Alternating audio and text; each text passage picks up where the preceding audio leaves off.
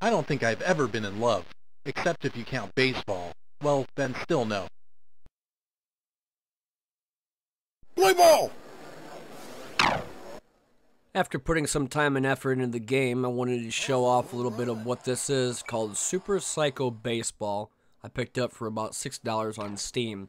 It's a roguelike, but a roguelike in the sense of you're only hitting home runs. You're not running bases, you're not doing anything with catching the ball. You're just smacking the shit out of it as hard as possible and getting home runs constantly. You have three innings. They have five home runs each. So if you get five home runs, then it goes to the next inning and the next inning after that. The difference between the innings is that they get faster. For example, Pitchy, he does fastballs. He'll go slow with a fastball, then a little bit faster, and then psycho mode to where he just throws it super hard. Then after him, you got Piney, and Piney is like a tree that does knuckleballs, and they also get faster. And the other person I fought after him was Harry. And Harry's thing is that when he throws the ball, it'll disappear. So you have to like remember where it was last before you swing the bat.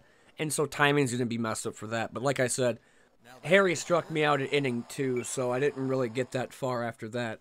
In terms of Super Psycho Baseball's replayability, I mean, it is you just smashing the shit out of a baseball out of the field, getting constant home runs and getting more abilities and skills the more you play and progress. It's a fun game, especially for $6, and I was mixed about it when I first started playing it because I didn't understand like what to do. I didn't understand the timings. I didn't really get the whole like feel and just of the game until I started playing more and more, and it is a fun game after a while.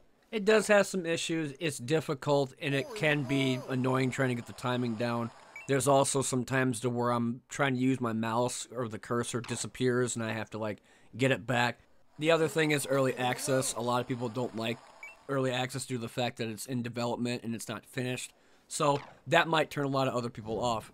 In terms of any real issues, any crashes or anything, not really. And I do like the voiceover of Pitchy and kind of the humorous stuff they say. And again, the game is $6 on Steam. It might be on sale with the winter sale, I'm not sure. Still, I think it's worth a purchase and still worth a try if you want to get into like baseball and any type of roguelike games that'll be fun for you. Anyway, I've been One Nut Punch, and this has been another video. Wanted to talk a little bit more about Psycho Baseball because I know that some people have been playing it, and it's getting a lot of pu- like publicity and positivity. Barely any negative reviews, even for an early access game, but still wanted to show it off a little bit. Anyway, I've been One Nut Punch. I'll see y'all later.